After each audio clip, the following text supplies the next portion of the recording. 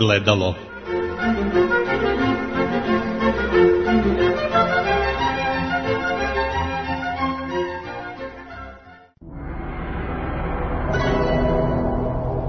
Pomaže Bog, draga braćo i sestre, poštovani slušaoci. U emisiji Ogledalo danas poslušajte prvi dio predavanja profesora Predraga Vukića o ranohrišćanskoj istoriji na našim prostorima, koje je održao u nedjelju 2. februara 2014. godine u manastiru Ostrog.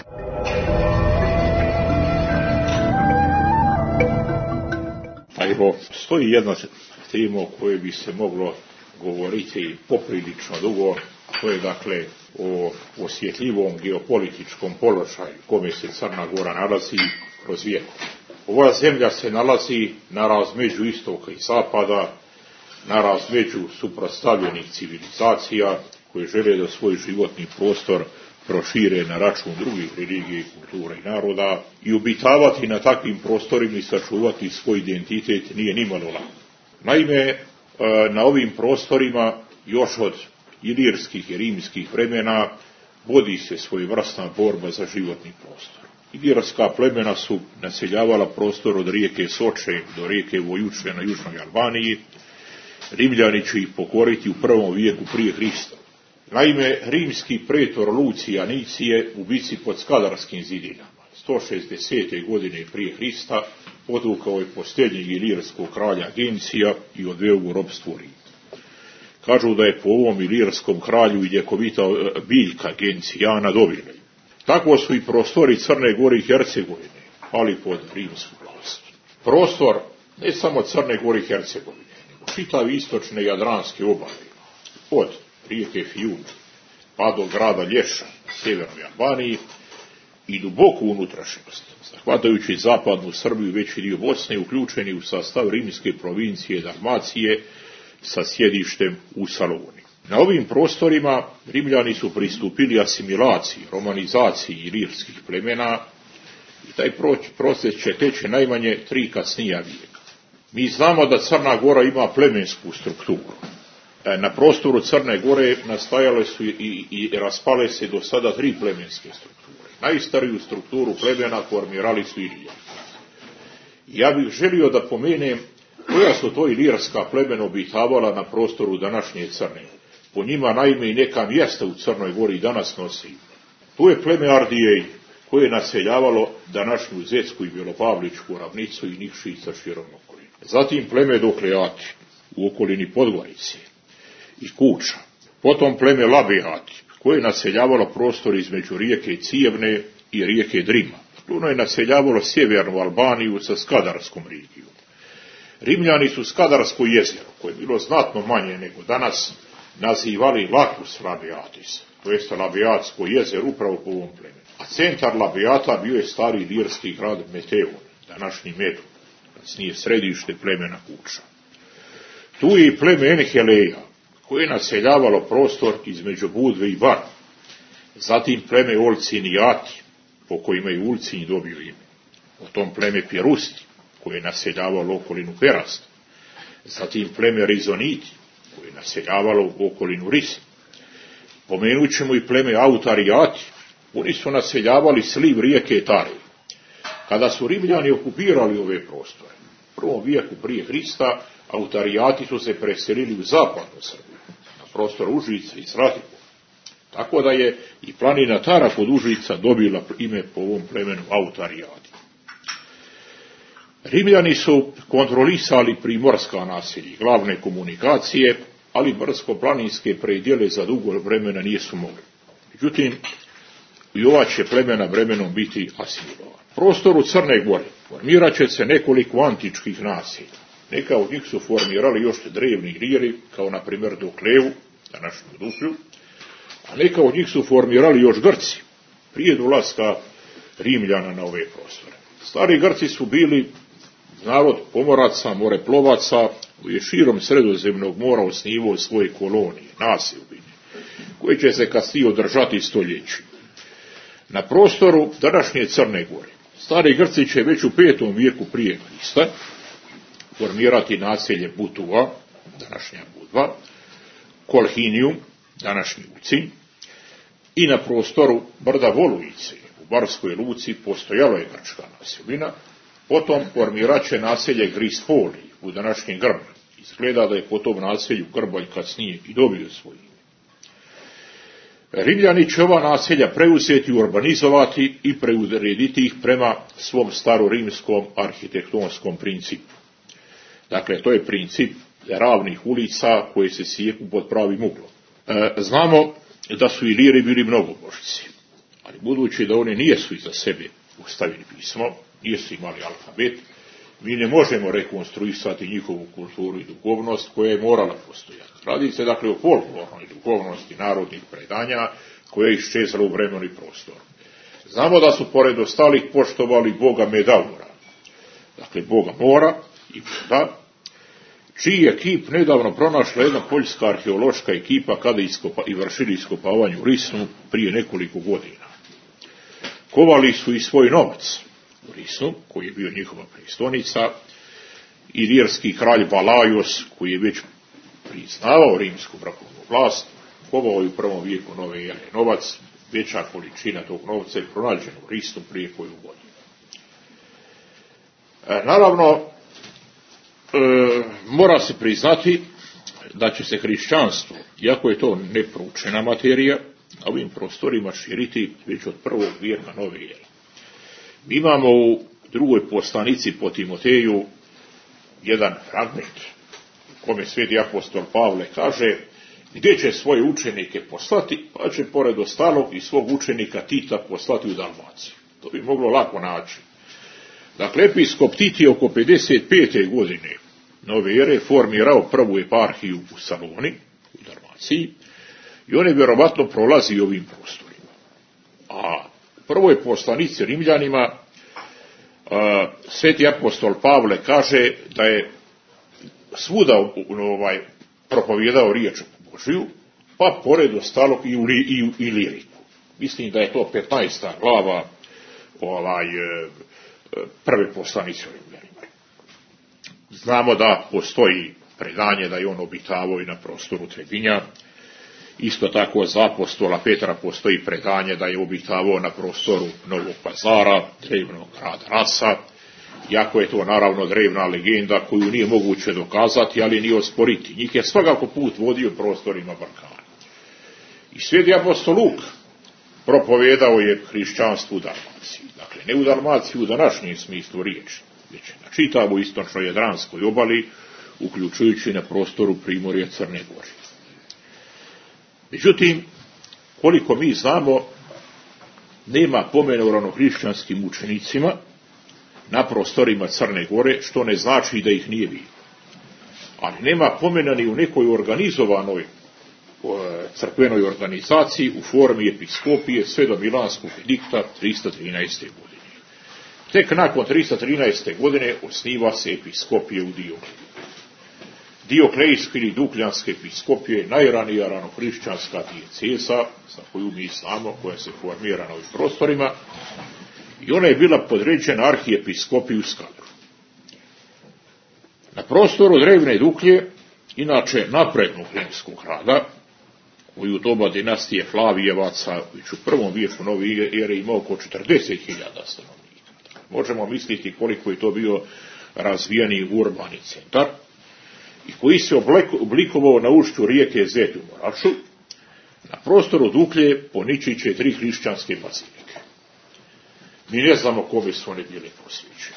I hrišćanske bazilike bile su samo gradu, jedna od njih je podignuta na temeljima drevnog mnogobožačkog antičkog hrama, treća bazilika je podignuta na lokalitetu Zatice. Rimski car, vizantijski car, a može se reći istočno-rimski, istočno-romejski car Justinijan, podići će na temeljima te bazilike katedralu Svete Bogorodice, najvjerovatnije oko 530. godine, iako nije moguće ustanoviti tačnu godinu, i ova će bazilika u, ovaj, Zlatici biti porušena početkom 7. vijeka, kada će porušiti Slaveni Javari. Ona više neće biti obnavljena. E sad, naravno, da je Rimsko carstvo kao i svako, svaka imperija u istoriji ljudskog roda morala dočekati početak svog pada, morala je ući u svoju silaznu putanju. Rimsko carstvo nije bilo u mogućnosti da okupira slovenska i germanska plemena da se proširi na sever Europe, pa će germanska i slovenska plemena od trećeg vijeka na ovamo vršiti upade preko rijeka Dunava i Rajne i rušiti rimski gradovi.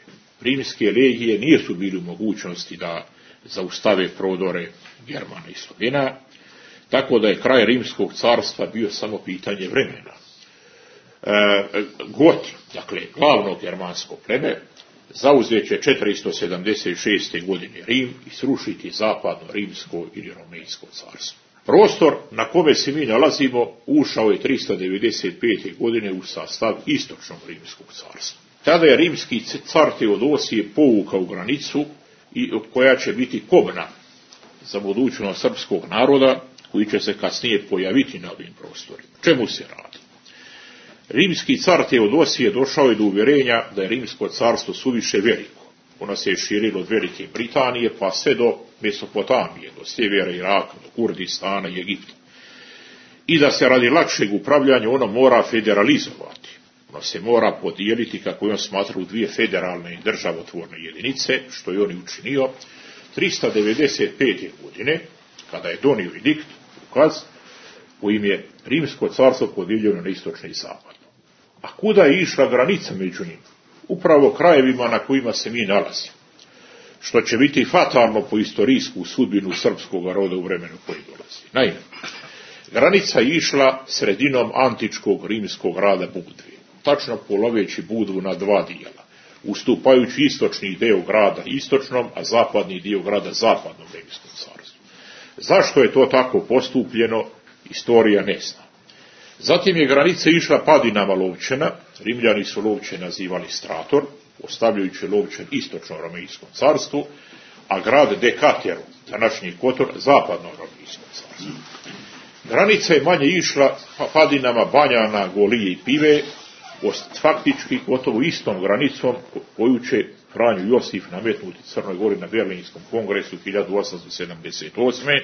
svakako ne slučajno, pa će granice između dveju carstava ići od Šćepan polja, sredinom plovnog toka rijeke Drine, od Šćepan polja strogo sljedeći tok rijeke Drine do utoke Drine u Savu. Dakle, već tada je Drina određena kao granica između istoka i zapada i to je dakle fatalno predijelilo našu buduću istorijsku sudbinu. Goti su 489. godine sravnili Diokleju. Diokleja je konačno sravnjena u katastrofalnom zemljotresu 518. godine. A kad su na ove prostore došla plemena Slovena Javara, oni će 609. godine Duklju sravniti po treći put, čime organizovani urbani život na prostoru tog grada nestaje. Grad faktički postaje prošlost. Sada bih se osvrnuo na e, cara Dioklecijana. E, znamo da je car Dioklecijan bio veliki gonitelj hrišćana, može se reći najveći gonitelj hrišćana u istoriji ranohrišćanske crkve. Naravno, e, mi nemamo pomena da je za doba cara Dioklecijana izvršeno mučenje i surovo ubijstvo nekih ranih hrišćana na ovim prostorima, ali je takvih stradanja sigurno moralo biti. Međutim, u narodu ovog prostora, evo, punih 16 vijekova, od četvrtog vijeka na ovamo, ostao je spomen na cara Dukljana. I što je vrlo interesantno, pazite, bez obzira što se promijenila etnička struktura, što je dolaskom Slovena na ove prostore neslovenska zajednica Rimljana i Lira milovana, istrebljena i nestala. Ali od četvrtog vijeka do 20. vijeka vi imate u narodnoj predaji, u narodnoj tradiciji spomene na zloga cara Dukljanine ili Duklijana, što znači da je on ostavio toliko suro spomen, ne samo na širi, nego i na ovim našim prostorima, što nije slučajno, i to je jedini rimski car koga naše narodno predanje pamti. Podsjetio bih na predanje koje kaže da je car Dukljan toliko dosadio Bogu svojim nedjelima, da ga je Bog vezao za sinđire i bacio u vodu ispod vezirova mosta u Gorici, I svake godine, kaže to predanje, dođe Kovač i udari velikim čekićem o sinđir, jer car Dukljan hoće da pregrize taj sinđir i da se iz podzemnog svijeta vrati na ovaj svijet kako bi nastavio gonjenje hrišćana. Da se to ne bi desilo, predanje kaže da Kovač udari s badnjem, čekićem nekoliko puta u sinđir lanac, ponovo ga prikuje i zarobi ga u podzemnom svijetu. Kako se on ne bi vratio. Dakle, sigurno je da ovo predanje koje je drevno 16 vjekova nije nastalo slučajno. Njega je zapisao i kralja Nikola i mnogo prije kralja Nikola i ono je također zabilježeno na ovim prostorima. A odakle je bio car Dioklicijan? I to je pitanje zanimljivo. O, naime, on se je zvao Diokle prije stupanja na vlast. A centralna varoš na ovim prostorima u doba Rimljana zvala se Dokleja ili Diokleja, kako su je karci zvali, dakle Duklja. Dioklecijan je po nekim zapisima rimskih historika rođen u Saloni, današnjem Splitu. Dok rimski historičar Amijan Marcelin izričito tvrdi da je on u stvari rođen u Duklji. I vrlo je moguće da je on rodom sa ovih prostora, jer zna se da je porijeklom Ilir. On nije etnički rimljani, nego Ilir koji se romanizovao i u rimskoj vojsci došao do visokih činova, pa na kraju i do imperatorskog čina. Prema tome, samo prezime, samo ime Diokleti, Diocletijanus, tako se piše, Dioklecijanus, u stvari znači Dukljani. Dakle, ili je rodom iz Duklje, ili su mu roditelji sa ovih prostora, što je u svakom slučaju izvesno. E, znači, nakon pada Rimskog carstva, ove zapadnog rimskog carstva, ove prostore preuzima istočno rimsko ili romejsko carstvo, to jest Vizantija. U takvoj situaciji, dolaskom Slovena Javara, uh, urbani život na prostorima ne samo Crne Gore, nego i zapadnog i centralnog Balkana postaje nemoguć. Sloveni Javari 614. razaraju Salonu, današnji Split, razara se na Isus, Niš, još 582. godine Slovenija vari razaraju Sremsku Mitrovicu, koja je bila jedan od najperspektivnijih urbanih centara u Rimskom carstvu, pazite, nekadašnji Sirmiju.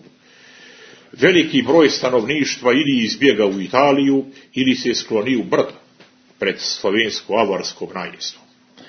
Uspomene na ili kako su ih još zvali obri, čuva i brdo obrov od bijelog polja u to vrijeme i Budvanski zaliv nazivao se Sinus Avaricus, zaliv Avara. Tada se raspada i ranohrišćanska crkvena organizacija. Dakle, Duklja biva razorena, sa njom bivaju razorene i ranohrišćanske bazilike, e, gdje je dioklejski ili dukljanski episkop izbjegao, mi to ne znamo, postoji predanje da se skloni u stari bar, jer Sloveni i Avari nisu mogli zauzeti grad bar, ili ispega u Italiju, ili se taj episkopija ugasila za dugo vremena, što je najvjerojatnije, ne zna se. Risanski episkop Sebastian izbjegao je 595. u Italiju i Risan sa svojom bazilikom biva također sravnjen sa zemljom. Tada počinje promjena etničke strukture stanovništva na ovim prostorima, o čemu se inače malo zna. Ali za razliku od germanskih plemena, koja su bila mnogo disciplinovanija i imala su tu ubojnu i razornu moć da na kraju i sam Rim zauzmu, a zauzimali su ga više puta, Sloveni nisu imali tu vojničku snagu da zauzmu Sol, e, Solun i Carigrad. Dakle, dva centralna vojnopolitička središta Vizantijskog carstva. Napad Soluna Javara na Solun 623. biva odbijen veliki slovensko-avarski pohod na Carigrad, prestolnicu Vizantije, 626. Vizantinci su s mukom odbili. nakon toga Sloveni se spuštaju duboko u Grčku, naseljavaju Epire, Tesaliju, Peloponez. Dakle, današnji Grci nijesu oni antički Heleni, oni su to samo djelimično, oni su mješavina raznih naroda koji su naseljavali grčke zemlje na Peloponezu će se konstituisati dva slovenska plemena, Milinci i Jezeriti. I oni će tek u 14. vijeku biti potpuno helenizovani, asimilovani. Međutim, kod Slovena je postojalo ono što se naziva plemenski separatizam. Dakle, nisu bili u mogućnosti, za razliku od Germana, da formiraju veliku slovensku državu na Balkanu. Svako je pleme bilo svijet za sebe nije se mogao nametnuti neki plemenski centralni slovenski vođa koji bi formirao imperiju, kraljevstvo. Tako da će se na prostorima na kojima mi danas obitavamo, prostorima zapadnog Balkana, formirati više slovenskih, i to većina srpskih župana, Raška, potom Duklja, Travunija, to je Trebinjska oblast, Zakumlje, dakle Hercegovina, Paganija, prostor između rijeka Cetine i Neretve, Bosna i Hrvatska. I pošto će svaka od tih županija, kneževina biti vojnički slaba, sve će oni za dugo vremena, dakle od 7. do 9. vijeka, priznavati vrhovnu vlast vizantijskog cara i plaćat će vizantijskoj carskoj blagajni poseban porez takozvani tribut. Za uzvrat, vizantijski carevi, osjećajući da su nemoćni, da kontrolišu ovaj brdoviti Balkan. Dakle, Bizantija je mogla da kontroliše istočno-jadransku obalu, od Pule do Ulcinja, ali nije mogla da kontroliše brdsko-planinske regije, za uzvrat Vizantija će se zadovoljavati time što će ove župane formalno priznavati njenu vlast, a faktički će biti gotovo nezavisni, poluslobodni. Ovako stanje potrajaće sve dok Bugarska ne bude ujačala i snažno ugrozila Vizantiju, a naravno i Raša i srpski narod. Ko su Bugari?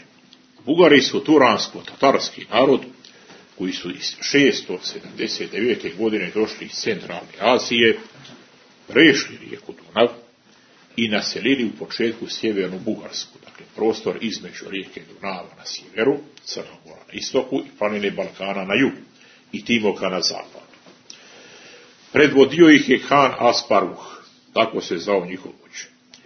Oni su na prostoru Bugarske zatekli sedam slovenskih plemena, čija imena nisu zapisana, i osmo slovensko pleme koje se imenuje kao severci ili severljani. Došlo je do stapanja slovenske većine i ove protobugarske manjine. Tako da su današnji Bugari mešavina slovenskog etnosa, koji je naseljavao Bugarsku i činio većinu, i tog protobugarskog, tatarskog etnosa koji je činio manjinu. Smatra se da su Bugari u odnosu na slovensku većinu činili četiri četvrtinu ukupnog stanovništva Bugarske, ali oni su toj slovenskoj većini nametnuli svoje ime Bugari, a za uzvrat su svoj jezik zaboravili i staroslovenski jezik primili kao svoj bugarski jezik. Oni su imali izuzetno jaku vojnu i političku moć i bili su mnogo disciplinovani za razliku Slovena, formirali su svoju državu, znači celinu, takozvani kaganat, svako nju su ugrožavali Bizantiju. I ugrožavali su i Rašku. 836. godine bilježi se prvi sukob između Srba i Bugara, kada je raški knez Pastimir odbio napad Bugara, koji su pokušali da okupiraju Rašku. Dakle, srpsko-bugarsko neprijateljstvo se može istorijski, hronološki slijediti još od prve polovine devetog vijeka i ono kontinuirno traje sve do naših dana. Ono je dakle dublje od našeg neprijateljca sa Hrvatima, recimo. A Mađari su, ovo je vrlo interesantno, također narod azijatskog porijekla koji je iz Turkestana, iz centralne Azije 896. godine došao u Panonsku Nisiju, naselio je i ugrozio narode centralne Europe. Oni su dakle e, pokušavali kada su zauzeli Panonsku Nisiju da izvrše prodori u Njemačku, ali ih je njemački car Otan prvi potukao kod Augsburga 955. Slovenska plemena, međutim, bila su mnogo manje otporna prema Mađarima. Moramo da istaknemo da sve do kraja 9. vijeka Mađarsku naseljavaju Sloveni, dakle, dakle da su Česi i Slovaci teritorijalno i etnički vezani sa Srbima i Hrvatima. Znači u Panonskoj niziji nema Mađara, bitavaju samo Sloveni. Na prostoru Panonske nizije postoji Panonska knježevina, kojom upravlja slovenski knez Kocin, kod koga je i, su i sveti Čirili metodije propovedali hrišćanstvo na slovenskom jeziku. Dolaskom Mađara, dakle prostor današnje Mađarske, Panonske nizije, biva mađarizovan. Sloveni su dakle ili poterani, ili istrebljeni, ili u najvećoj meri asimilovani. Kao spomen da je Mađarska nekada bila slovenska zemlja i danas služe pojedini toponimi. Pomenuo bih par njih, recimo jezero Balaton, najveće jezero u Mađarskoj. To je u stvari blat, to je slovensko blat. Ili recimo Debreci, grad na padinama Karpata, to je u stvari slovensko Dobrosin ili Dobrčin. Mi danas imamo selo Dobrosin kod Bujanovca i selo Dobrčin kod Uzi. I imamo recimo e, e, Pečuj, u stvari od slovenskog Pešt, Peć, samo što je prilagođeno mađarskom jeziku. Dakle, ostali su slovenski toponimi, ali prilagođeni mađarskom jeziku. I upravo to jedno i drugo je slovensko. Pešta, isto od pešt, peć, da bome jest. Pećina, peštera, da bome jest. E sad, Bugari su 864. primili hrišćanstvo. Primio ga je knez Boris Mihajlo od Vizantinaca. Mađari će ga primiti tek hiljadite godine, ali ne od Vizantinaca, nego od izaslanika rimskog pape i njihov kralj Ištvan prvi, koji je primio hrišćanstvo, dobit će od pape titulu apostolskog kralja. Šta se dešava na ovim našim prostorima? Ovim na ovim prostorima sve do vremena svetog kneza Vladimira nema bitnijih zbivanja. Dakle, Vizantij upravlja Dukljanskom knježivinom. Zanimljivo je da su Arapi, Saraceni, koji su zauzeli južnu Italiju i Siciliju, 841. godine sa svojom flotom napali i opustošili Budvu, Kotor i grad Rose, koji se nalazi na Luštici, na ulazu u Kotorski zavod. Saraceni su čak 867. godine, dakle Arapi, napali Dubrovnik, koji je priznavao vizantijsku vlast i 15 mjeseci ga držali pod opsom. I lično je car Vizantije, Vasilije prvi Makedonac, došao i komandovao vojskom i uspio da nakon 15 mjeseci borbi odbije njihov napad. Jer da je taj napad u, ovaj uspio i da je Dubrovnik pao, islamizacija Balkana počela bi već tada, 867. godine. Toliko su oni bili u poli. Međutim, kad smo već pomenuli Bugare, bugarski car Samuilo podigao je 976. godine ustanak protiv vizantijske vlasti i uspio da osamostali Makedoniju sa centrom u Ukrajinu. A onda je, zahvaljujući ustanku, budući da su mu se priključili Srbi i vjerovatno još neke manje etničke grupe na Balkanskom poluostravu, uspio da formira moćno bugarsko carstvo, koje je krajem desetog vijeka obuhvatilo Bugarsku, Epir, Tesaliju, Srem, Srbiju, Bosnu i Hercegovinu i Dalmaciju sve do rijeke Cetinje. Na prostorima Duklije vladao je sveti Jovan Vladimir. Sveti Jovan Vladimir bio je sin dukljanskog kneza Petra. Knez Petar je prvi vladar, slovenski vladar ako hoćemo srpski vladar ovih prostora, za koga istorija pouzdano zna. Naime, ne samo što ga pominje ljetopis popa Dukljanina kao Petristava, otac svetog Jovana Vladimira, već je, već se u Berlinskom ratnom vojnom muzeju čuvao olovni pečat dukljanskog kneza Petra sa prednje strane bilo ispisano na grčkom jeziku. Petar, Arhont, Dioklije, Amin. Pazite, na grčkom jeziku.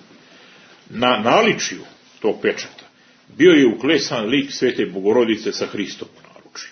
E, kad je taj Berlinski vojni muzej 1945. stradao u vrijeme kad je Žukopov sjedao Berlin, stradali su mnogi eksponati i nestali. Među njima i ovaj olovni pečat kneza U emisiji Ogledalo čuli ste prvi dio predavanja profesora Predraga Vukića o ranohrišćanskoj istoriji na našim prostorima koje je održao u nedjelju 2. februara 2014. godine u manastiru Ostrog.